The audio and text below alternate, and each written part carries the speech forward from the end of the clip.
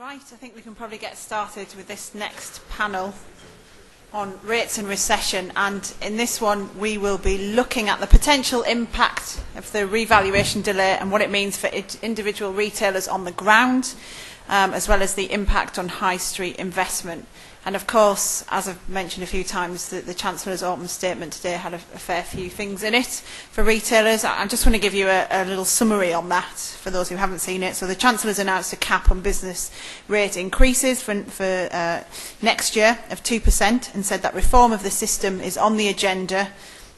for 2017 re-evaluation with a discussion paper coming out in spring 2014.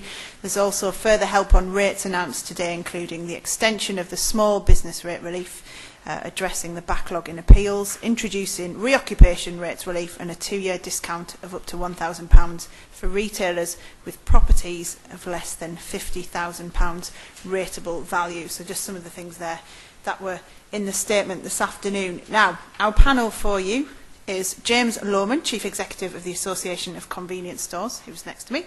Next to him is Simon Danchuk, a Labour MP for Rochdale, and next to him Jerry Skirder, Head of Rating at Gerald Eve. So we'll kick things off first of all with James.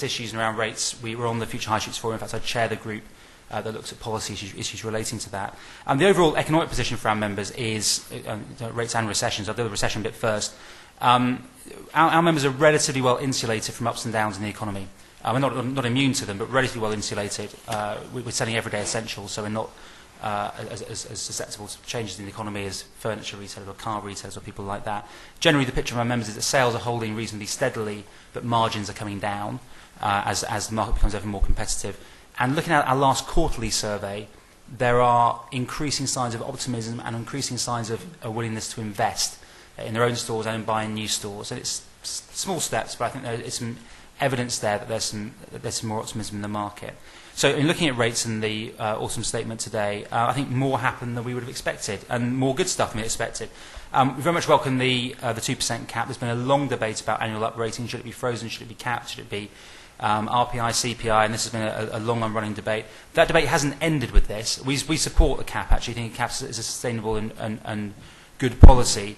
But it's interesting to hear about a cap for one year that's not really a sort of cap. That's that's a different rate for one year. A cap would be a sustained thing over a period of time. So that's something we want to get clarity on and understand if, if that is the policy. We think a long-term cap is the right uh, right thing to do.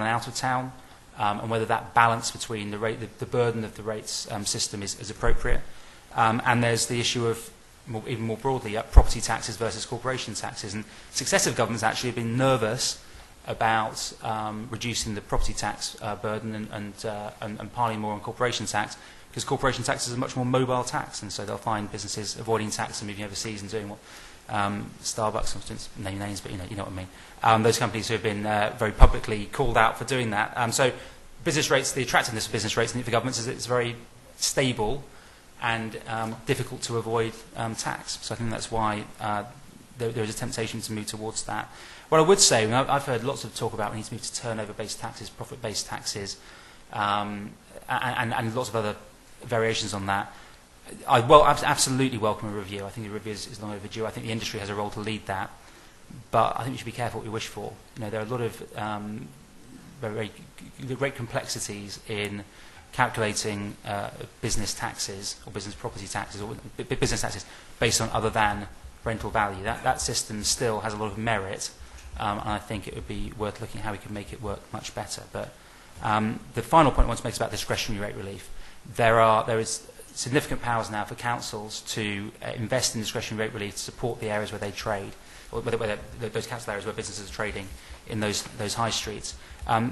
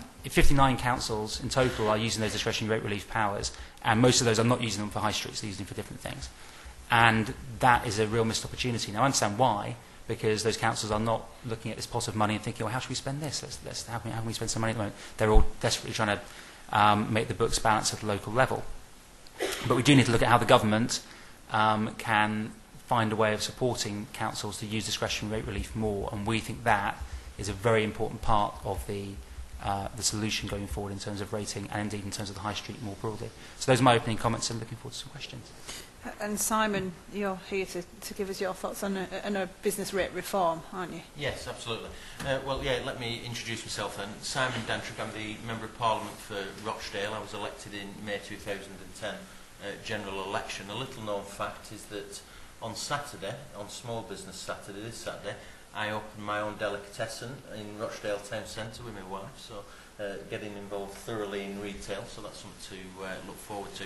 I will have missed the preoccupation relief, unfortunately, which I'm disappointed about.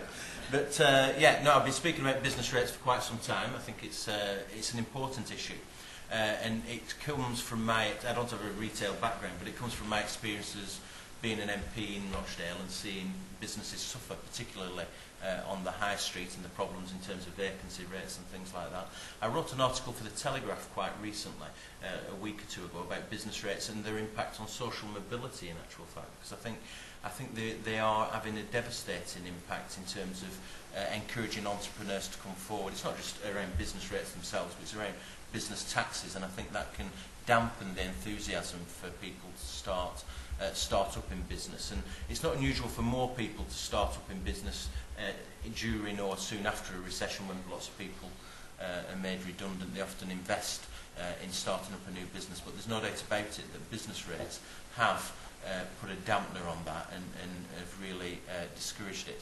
Uh, the politics around business rates and why we are where we are at this autumn statement, and that's where I've come from. I, I listened to uh, the Chancellor's statement, and we've got a copy of it here, which I'll uh, refer to in a second.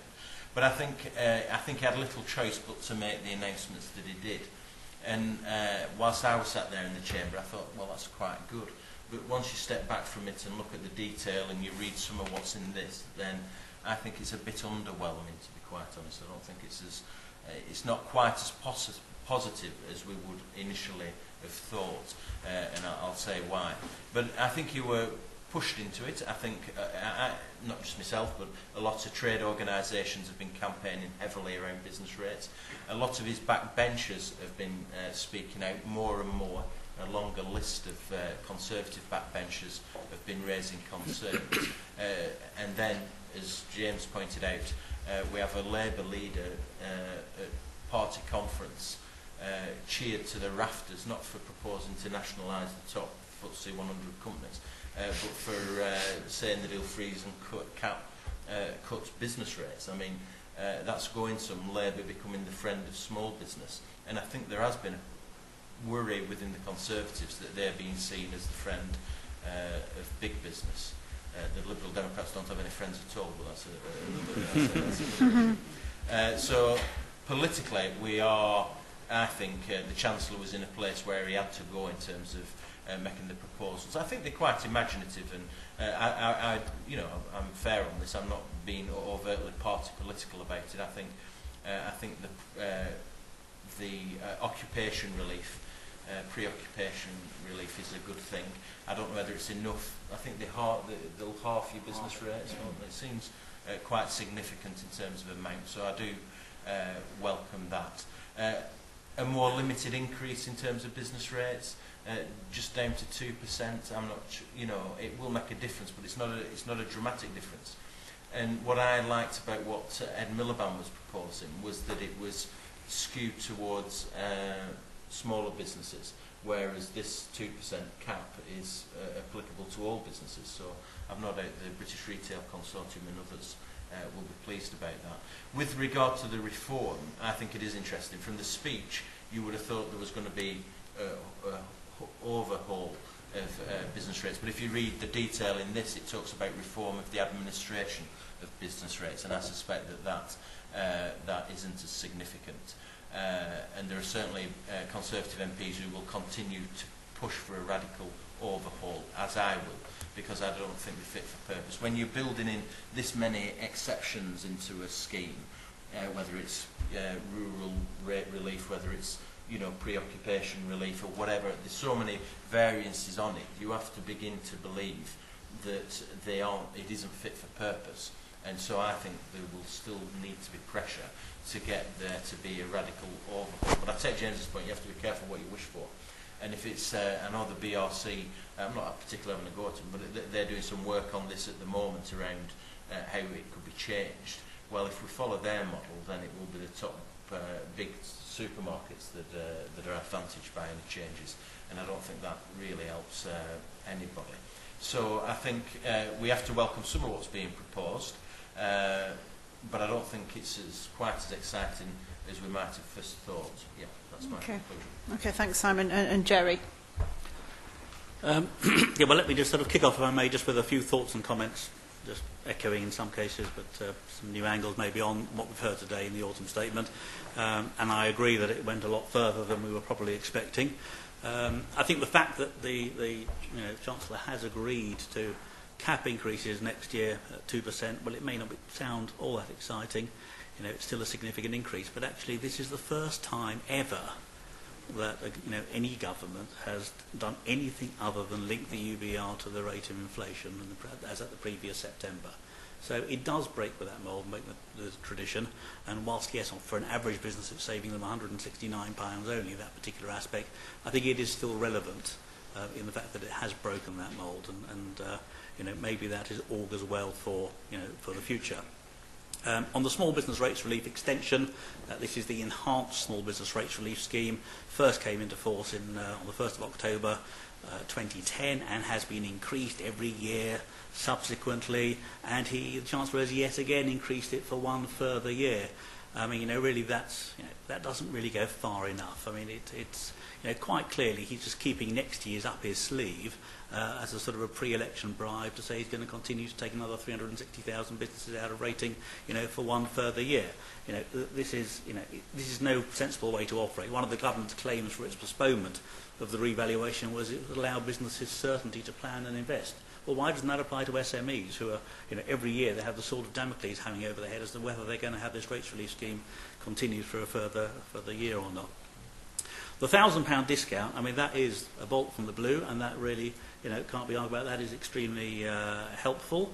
Um, we're at a retail conference, so we could say who cares about the other sectors, but clearly we can hear bleating um, you know, already coming from you know, other struggling sectors who similarly might feel, well, hang on a minute, we are suffering, we're being disadvantaged, why shouldn't we benefit from this as well? Why is it only well, shops, cafes, restaurants and, and, and pubs uh, which will benefit? I think there's also a little bit of devil in the detail still to come about this because um, the government's going to bring forward guidance on how it's going to apply this discount. Uh, and that's because I'm not sure they can actually imp- apply this sort of in pure primary legislative terms. I think they will have to uh, bring it about through some form of discretionary rates relief, even though it will be fully funded, no doubt, by government. But that will also mean that it will be subject to European state aid limits, um, and so that could limit the benefits that will be gained by the, I suppose, the, the, lar the larger businesses with significant numbers of small properties who may find that actually they don't get the relief um, for, uh, for all of their properties. The temporary reoccupation relief scheme, well, that again breaks with the, the government's mantra for the last couple of years at least, who've been saying, government's been saying, well, we've given you local authorities powers under the Localism Act to grant discretionary rates relief and get on with it and do it and use it. But of course they have not been doing so because they have to fund a significant proportion of those costs themselves. And so the government has finally recognised they need to sort of put some funding, some money behind this in order to uh, uh, get the reoccupation of um, empty long-term empty properties going again. It's a pure copy of the Scottish scheme which has been around for a couple of years at least, the Fresh Start scheme as they call it up there, Uh, it's exactly the same. Um, interestingly, though, the Scots have extended, they are planning to extend their scheme from uh, next April uh, to apply to a wider category of property, and also they're extending the relief to um, rateable values of £65,000 and below. And of course, the Scottish values are much lower than they are uh, in England, so 50,000 is still not all that generous by comparison with the Scots scheme. Brilliant news for businesses, all businesses, about the ability to pay by 12 monthly instalments rather than by 10. That is a historical anachronism, and it's good that that's going. And I echo exactly what's been said about uh, what sounded like a very positive commitment to a review of the business rating system, and it will be nothing of the sort. Um, reading, I think, what we can see in, in one paragraph, I must just read it from the, from the document itself, the one that Simon's got there, I've got one page from it. Uh, the government has heard businesses' concerns about the operation of the business rate system more broadly, its transparency, complexity and responsiveness to economic circumstances. And this is how they continue. The government will legislate to allow business rates bills to be spread over 12 months rather than 10 months as currently, to help with cash flow and affordability. The government will also discuss with business options for longer-term administrative reform of business rates post-2017. I'm really not sure that those two sentences follow the first one um, in terms of what businesses are actually looking for. So what are businesses looking for and what are the issues, I think, around the business uh, rating system? And obviously I'm a valuation professional. I'm coming from, to this from, you know, with, um, with that background. Um, you know, a property-based tax has a place within the basket of taxes available to, uh, to government. There's no doubt about that.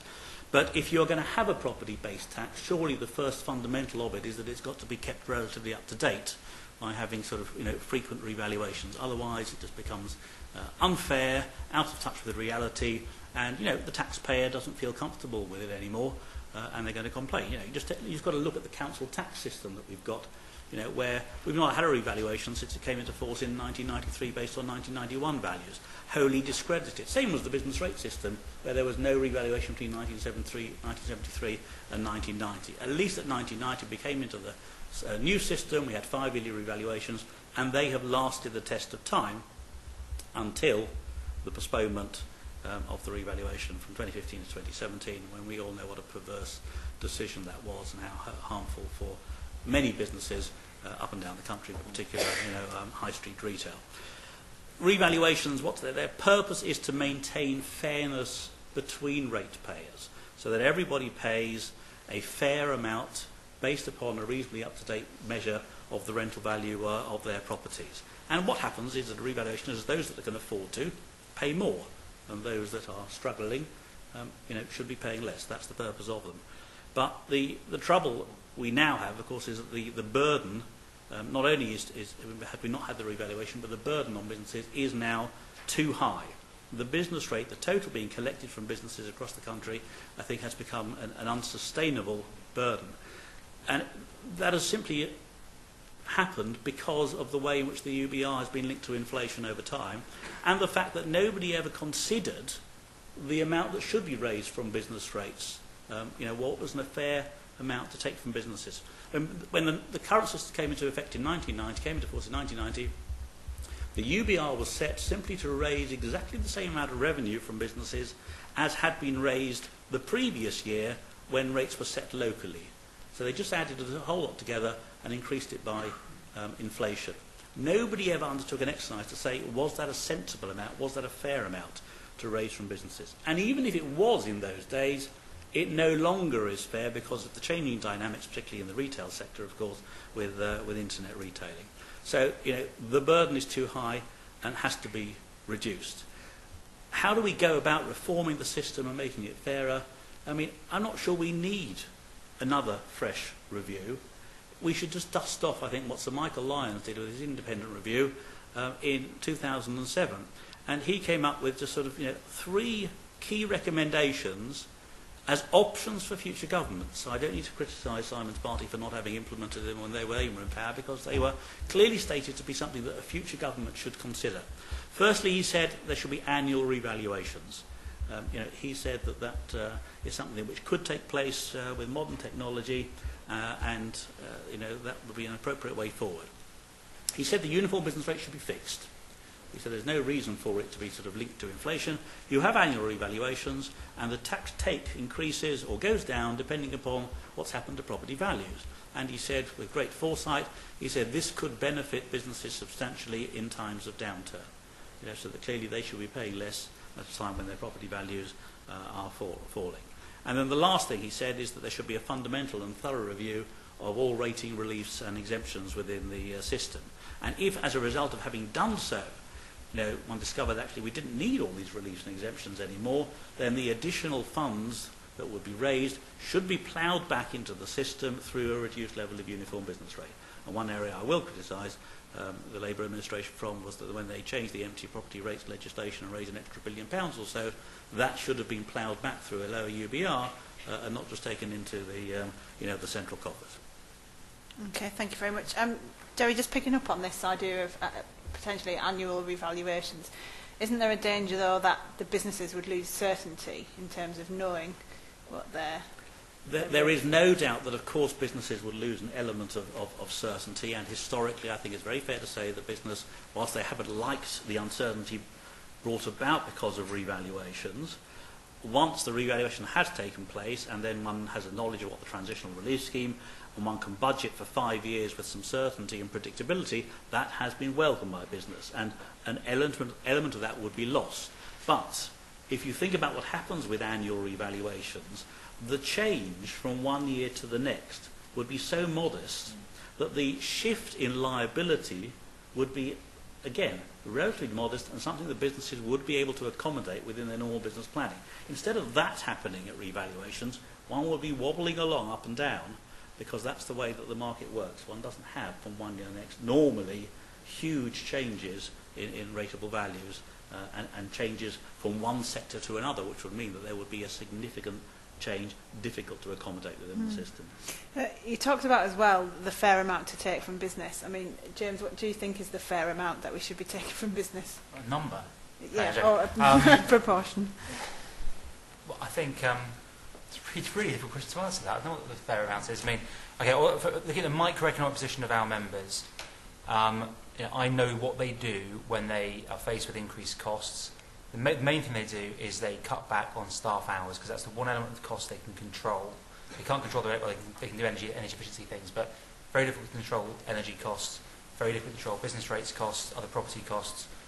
So they tend to, to focus on, on staffing costs and, and, and try to cut them. So I suppose the right level of business taxation is one that doesn't disincentivize growth. And Simon made a really important point about um, this is an important social thing about people being encouraged to set up businesses, being incentivized to set up businesses. Um, one of the things that we found through our research is that a, a large minority, about well, a third of, of the members of the retailers in our sector, were born outside the UK, and in London it's well over half. So for people who are uh, new to the country or otherwise just want to invest and be entrepreneurial, our sector, and there are others that are similar, cafes and so on, is, is, a, is a sort of first port of call to, to make that investment and to invest and, and, and try to deliver jobs and, and, and create wealth. And I think the way you have a taxation system and other regulatory factors that prevent that, that has very, very significant consequences for the economy and society. So I don't know a number, but those are the things which must be Terry. I'm happy to, I'm happy to have a stab at answering that question. I mean, the uniform business rate, when it was first established in 1990, was 34.8p. Next year, with the 2% increase, it'll be 48p. For most of the life of the UBR, it's been between 40p and you know 45p or thereabouts. But broadly speaking, rates payable has been around 40 to 45% of rental value of properties. I think that if you said to businesses that we will fix the UBR at 40% of the rental value and we will have annual revaluations. Um, I suspect that you would say, to, the businesses would say to you, well that is you know, an acceptable and a reasonable level to pay as a, for business rates as a contribution to local services. I'm interested to hear comments from others as to whether that, you know, uh, I'm, I'm right in that making assumption, making that assumption. Uh, but I think that, and, and maybe this is part of what the BRC work with, with Ernst Young you mm. uh, know, we'll, we'll look at as to sort of what is a sustainable level of the tax. But I think it is a worthy,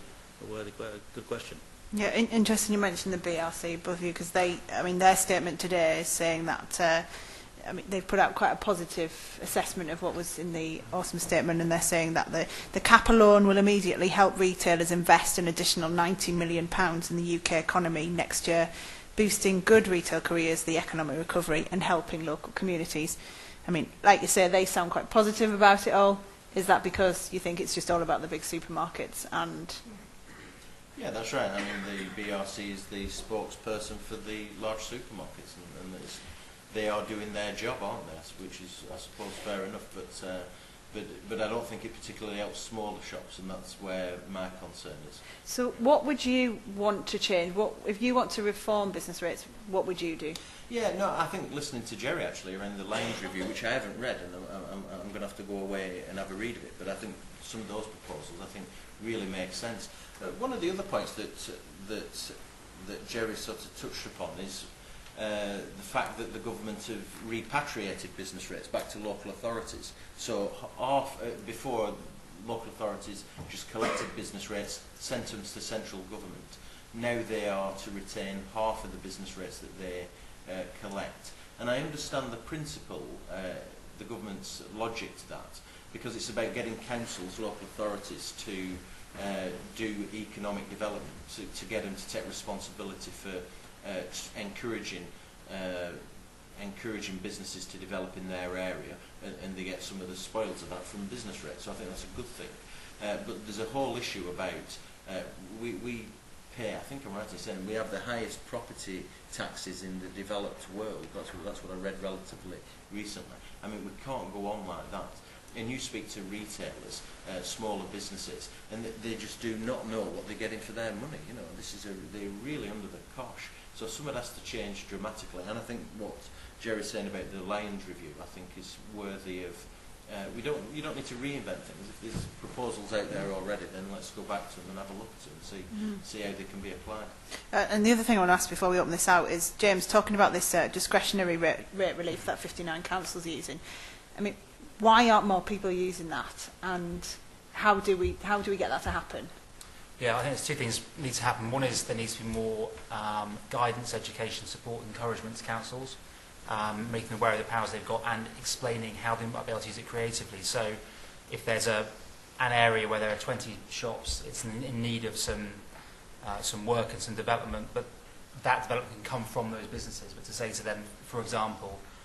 we'll give you rate relief at I don't know, 50%, 75%, and 100% over three years. I'm making all this up, these are dummy figures but to, and, and in return, those businesses will do these things to improve the area. And that, to me, seems absolutely with the grain of government thinking around localism, around different solutions for different areas, rather than it being a sort of, sort of top-down dictated idea.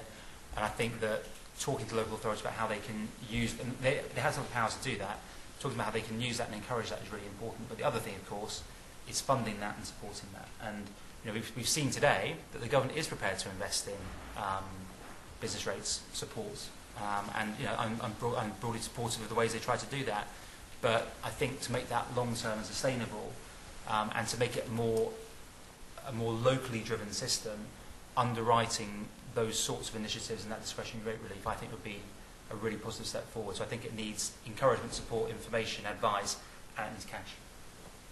Jerry. I mean, there are good examples of a small number of local authorities who are, have actually created uh, relief schemes. Um, see the councillor from Croydon here, one very good example of, of Croydon together, working together with landlords as well. So there are some areas where there are no, no rates and no rents paid. Yeah. Um, Bradford had also, has also come up with a, a, a good sort of relief scheme. The, the key issue, I think, is that in both of those schemes are being financially supported elsewhere. I think the mayor is supporting in Croydon and is a sort of European Regeneration Fund supporting in Bradford, um, because the local authorities can't fund this all on their own. Uh, and so therefore it does require uh, support from the centre. Uh, what difference is it making to the area?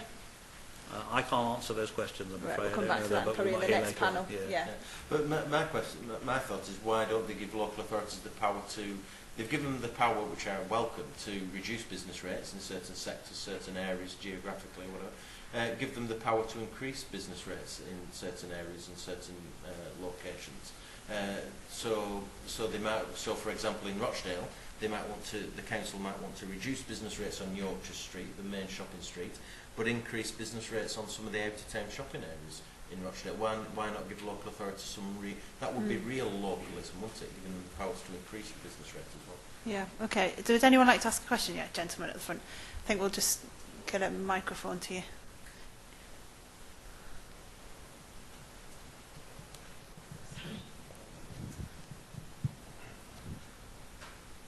No pressure.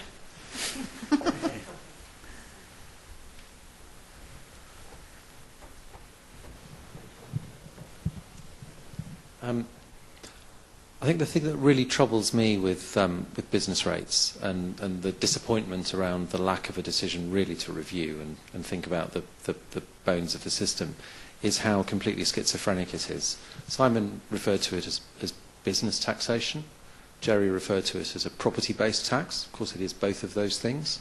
The period during which it, the, the, the UBR grew from 34 to 48 or whatever it's been, has been a period during which a tax that many people think of as a local tax that funds local services was not owned by the local authority. It was simply collected and, and dealt with as part of general taxation in the way that the government saw fit and reallocated to fund local government, but in completely separate ways. And the repatriation that we've seen that Simon mentioned is a 50% repatriation with all kinds of qualifications to that as well. And I, I, find it really hard to see, even with the, the Lions suggestions, I think, I think you need to reconnect what this, redecide exactly what it is. What, what, what is it? Is it a property tax? Is it a business tax? Is it unfair for, for, for internet based retailers to be paying on a completely different basis because they don't need the shops? If it's business taxation, then it is unfair. If it's a property tax, it isn't unfair, it's right, because mm. they've got a different tax base. So do they need to scrap it and just think of something else that's uh, fairer across the board? Jerry, do you want to... Well, as I said right at the outset, I think that you know, a property-based tax is, is, should be part of the basket of taxes. Uh, and I think that, yes, those who operate from property, I think, would expect to be able to, to pay property taxes. I think the level is too high. Those who don't operate from property pay other taxes, and business taxes need to be appropriate. But the balance needs to be right, and the, the, the, you know, the comparisons that can be made between you know, what we pay by way of a property tax in this country and everywhere else in the world shows that we are out of kilter and the property-based tax is significantly too high. And, and you know, maybe for the reasons that was explained, you know, you know, the government is very keen to keep that balance right uh, because for the international competitors, uh, competitors maybe Corporation debt is more important. But in terms of sort of collectability and predictability, the property-based tax is fantastic because it's so difficult to avoid or evade. Uh, you know, it's got extremely high collection rates, and therefore the government is not keen on, on reducing the level of it. But I think it is it becomes anti-competitive. Mm. yeah, I, I, well, just, uh, quick point. The, I, I completely agree with the speaker. I think we have to make a connection between the tax and what is delivering to the person paying the tax. I think that's been lost in all of this. A, a broader observation that I think is quite interesting is, uh, you know, I'm new to Parliament. I've only been there just over three years, but I've been surprised how we've gone from nobody speaking about business rates. How we're talking about business rates about two years ago in Parliament, uh, and then it's gradually built up. But if and this isn't a part political issue, the leaders you know, the shadow cabinet, the cabinet, just, it, business rates weren't on their radar 12 months ago, 18 months ago. They weren't even talking about them. I would raise it with prominent people in uh, the Labour Party. I'd raise it in the chamber. Uh, but there's been more momentum building up to that. And it just, it's been interesting for me to see how behind the curve leaders in political parties can actually be on an issue.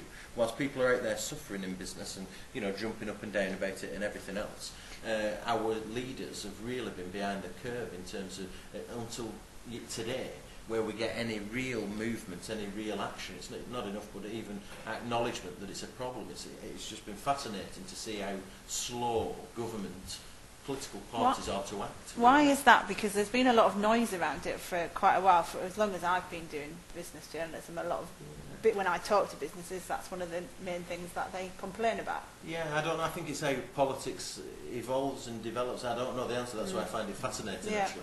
And I think there must be comparisons with other policies and other issues that don't always come to the fore very quickly. But uh, but it has been interesting to see. Yeah. There's a shock of seeing the rise in um, uh, high street vacancies as well. Yes. I think as people saw those go up, people mm. start asking the question why then Mary Porter's appointed to her review that raises the profile of the issue again. So I think these have all been sort of little bits of momentum that have led to, well, not led, to, not not today's the end point, no. but have led to it being much more widely acknowledged in the world. Mm. And coming on to that, it's been interesting recently whenever I've interviewed the supermarkets how much they're talking more about their convenience stores. Yes. I mean, how much is that a worry for your for your members? That's a huge issue. I mean, they, they, they bring their buying power, their brand power, their customer information on club card or whatever else into the market. They are hard to compete with, and um, and there is no e easy answer, but we've also got lots of members that I know who are trading very successfully alongside those stores, and they're doing it by focusing on the things that make them different. So that's about the two biggest things, or three biggest things. Range and having a, a differentiated range. Typically in a, um, in a 2,000 square foot supermarket, you have about 2,000 different lines. In an independent, the same size, you might have five, 6,000, which is probably too many, incidentally, but nonetheless, offer, offering a broader range and more quirky product, more different, more new products, um, more local products is really important. Secondly, I think around um, uh, service, and it's not just sort of, sort of stuff that makes us feel nice about we like nice service in stores, but really understanding the customers and, uh, uh and, and having that, that personality in the interface. And one thing is that I'm not, I mean, go, and they've you know, every right to exist as businesses, but when you go into those supermarket convenience stores, they are not good at service. They are really, you know, they're, they're, they're miles behind on that. So that's an opportunity where we can be better. Which leads on to the third thing, which is about the role in the community. And supermarkets do do work in the community. It's not something exclusive to us, but uh, independent retailers can do it much, much better because they are ingrained in the community. They often live there, have kids at the local schools, are involved in local charities and initiatives. And, and the, the challenge for our retailers, I think, is not just um, give money to a charity or sponsor a local football team, great though all that is,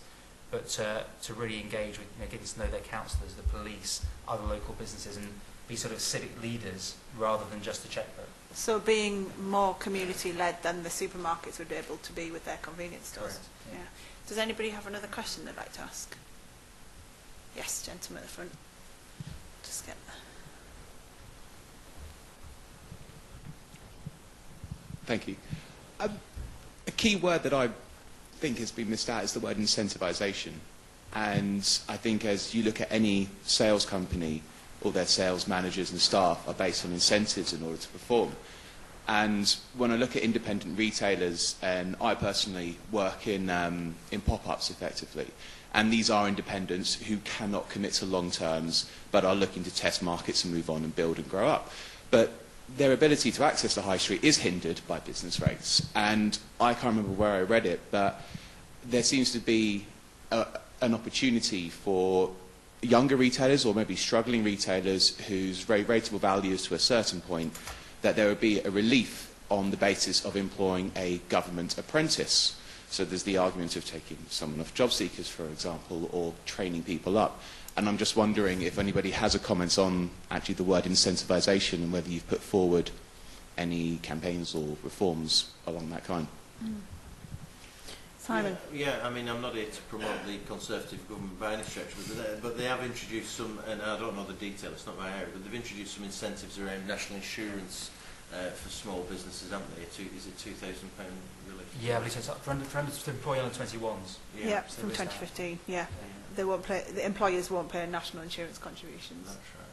Yeah, so that, so that was another thing mentioned in the statement today.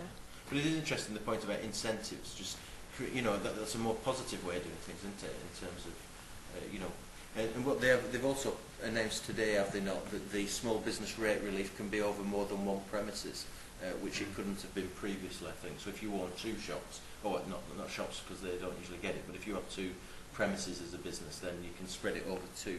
So that's sort of an incentive, I suppose. Yeah, well, I, th I think well, yeah, what, what I think they've, they've said is that at the, at the moment it's a complex scheme, but essentially it's based upon only having one property. Yes. And therefore, if you were a business expanding into a second property, you would lose out on the small business rate relief on the first one. So what they have said is that if you move, if you expand out so that you have a second property, you Still will keep the benefits of the small business rate relief for one further year. Ah. I, think, I think the other point around incentives and is, is if I think what would incentivise our members to make an investment in a high street or whatever, we talked about rates, all other sort of microeconomic issues. The biggest strategic issue they would face is if I make this investment in this, in this high street, is there going to be a big supermarket open out of town you know, in the next couple of years? Because if that's the case, there's no, there's no point making the investment. And actually, our members are thinking that, but also the bigger companies are thinking that as well. So that says to me that one of the big incentives for high streets is the government properly enforcing a town centre first planning policy, which at the moment there's plenty of well more evidence we're seeing that it's not doing very well, and we're having too many out of town applications granted still. About three quarters of development taking place out of town when we have a town centre first planning policy that doesn't make sense. And I say it's, it's not, it's, this isn't about us as NIMBY saying we don't want supermarkets. To some extent, yeah, of course, I'd like that. But it's, it's much more about where is investment going to be targeted. And unless you have a proper town centre first planning policy, that is a massive disincentive for retailers to set up in high streets of, of all sizes. Would anyone like to ask another question? We've got time for one more, if anyone has one. Yes. Thank you. Uh, Julie Graham from British Bids. Um, it's worth noting, I think, that what we've heard about today is more about the kind of cost base and the challenges of that. But actually one of the really important things is connecting cost and value together and business improvement districts, there are 169 of them across the country now and growing rapidly,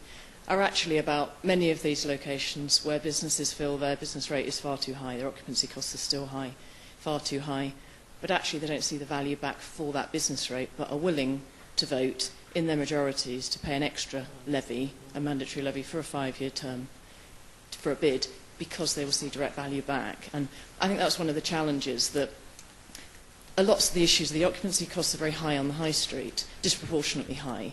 But actually, they really don't believe they get anything for that money. It really is just seen as a, a tax that's siphoned off. And the conditions in the high street aren't good enough for them to compete sufficiently. They need to increase footfall, they need to reduce costs overall, and they need to get better buying in a variety of ways. And that's what bids are gradually doing.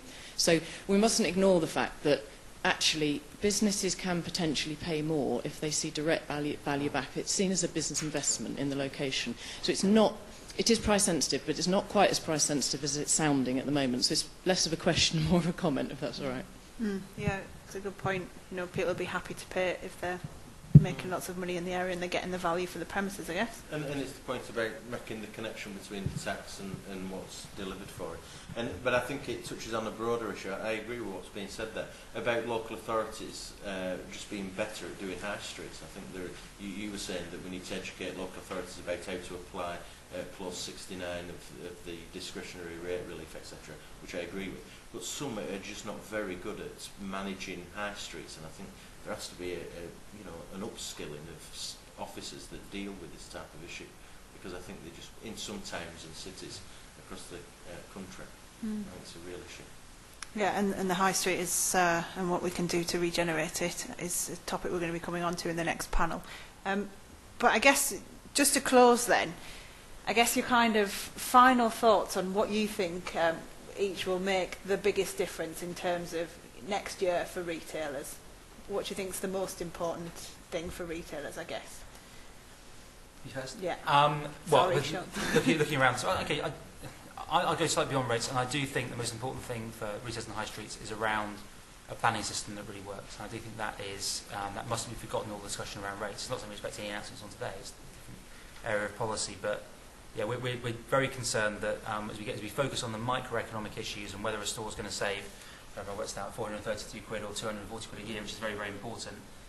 that is actually a very small amount of money compared to the cost to high streets a lot of businesses on high streets of having uh, badly planned uh, and, and un, yeah, an unnecessary and unneeded out of town development that will, will wipe out high streets so um, yeah there's that angle as well and Simon yeah for me I think it's about the economy and, and living standards uh, genuinely so how much money people have in their pockets ultimately affects uh, what they're going to spend on the high street or on you know on the on the internet or wherever else.